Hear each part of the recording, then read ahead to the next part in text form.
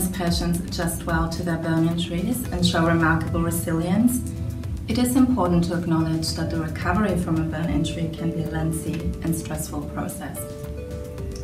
Initially, most people show some trauma reactions, such as re-experiencing the burn in form of intrusive memories and nightmares. They might not sleep well, they might have difficulty to settle and experience a lot of stress in their body. Most of these reactions resolve spontaneously over time, and it is important to normalize these reactions. Some of our patients continue to experience intense emotional reactions after leaving the hospital, and there can be a late onset of psychological problems once the acute stage of burns treatment is completed. Similar to the treatment of the physical injury, it is important to think about psychological support upon discharge. The following video will illustrate several of these points and provide some guidance for clinicians to recognize and support patients who may be facing challenges in their psychological recovery.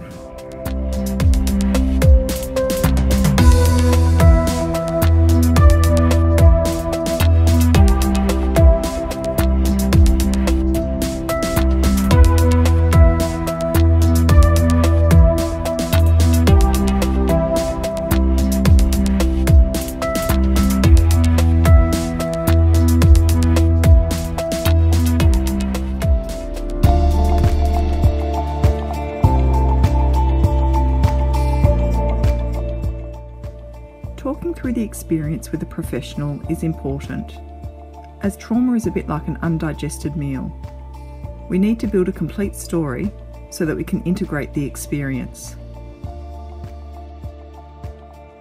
And having someone to talk to and you know support network and being able to contact yourself or the hospital really helped. Um, and it was only I think it only took a few sessions and and and it, and changed a lot for me and and and basically got me back on track and yeah it made, made a big difference to the whole situation and, and the experience that I went through.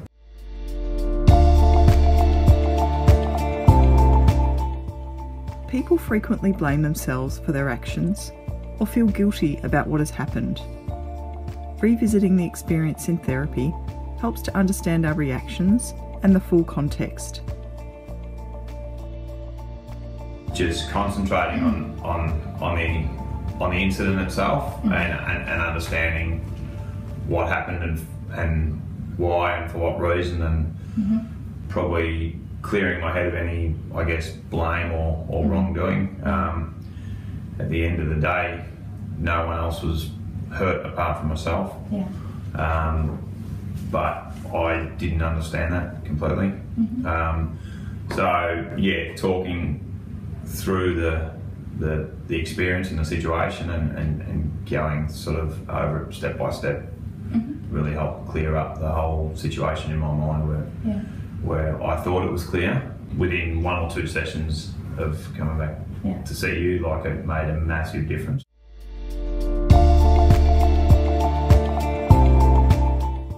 Often the right time for psychology is after discharge from hospital when people try to resume their normal life activities.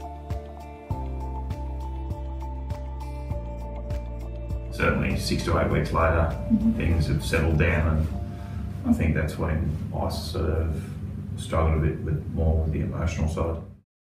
I think because you're going through a certain experience when you're in the hospital, um, and you've got you know a lot of doctors or nurses seeing you and, and a lot going on that that's all you concentrate on at mm. the time. Yeah. And then even probably, you know, I had to come back for some skin grafts, and that was that was the thing that I focused on at that point. Mm-hmm. But it was once those the the um, physical wounds were starting to heal. Yeah. And I was probably getting back to some you know normal life and work and family life. That the emotional side sort of came out, and that's when I felt I probably needed someone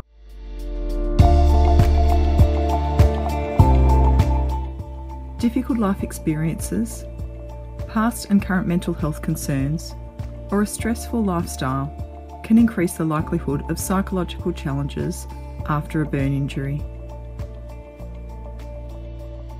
I live a pretty stressful, like, mm. yeah, high sort of intensity. So I, I've got a pretty mm. highly involved job. That's mm. so I've, I've sort of gone through some things before, you know, with some, you know, maybe with some anxiety or depression or things like that. So mm. I wasn't completely surprised, but Okay. I was probably surprised at how hard it hit me. If that mm. makes sense. Like it, it hit me a lot harder than I thought.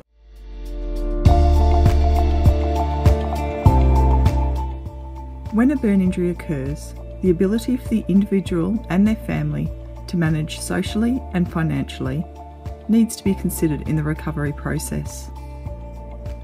Yeah, it's yeah probably a little bit hard. Like Rachel, obviously had a lot on her plate when it happened, um, and that was probably my number one concern. But she had a lot of good friends around her, so she's probably, um, well, she's very lucky in that regard. Like a lot of family and friends that sort of rallied around and Yeah. help with the kids and helped with uh, you know even just dropping off some food, shopping, and Yeah. different bits and pieces.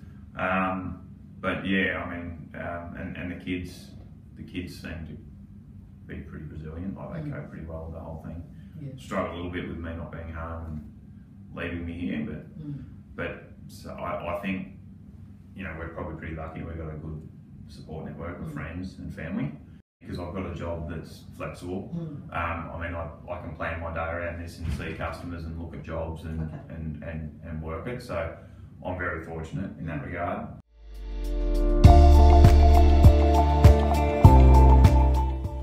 Emotional responses can be a wake up call and help us to re-evaluate what is important, adopt a healthier lifestyle, and have a better work life balance.